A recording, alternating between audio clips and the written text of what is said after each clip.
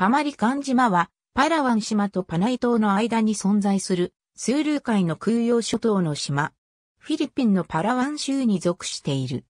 7km 四方のサンゴ礁の真ん中あたりに存在し、長さ 2.5km、幅 500m ほどの大きさである。島は、もともと裕福でない家族所有のプランテーションとして開拓された。その後、島はアンドレス・ソリアノが購入した。彼の子供は島内に行楽地の建設を決め、高級リゾートを確立するため運営源を貸し出した。島はソリアノの私有財産であり、7社の C リゾートに属している。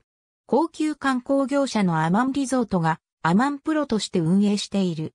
島内への交通はマニラからドルニエ228の202系が運行しており、これは顧客と貨物を島へ運んでいる。それぞれのバンガローには、島内での自由な移動のために個人用のバギーがある。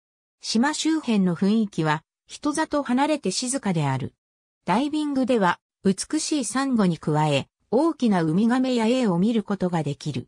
北岸のウィンドサーフハットでウィンドサーフィン向けにサーフボードやセールボードが貸し出されている。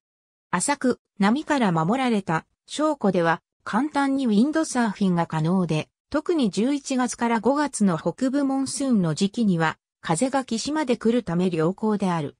雇用者の40%は、南隣のマナモック島から来ている。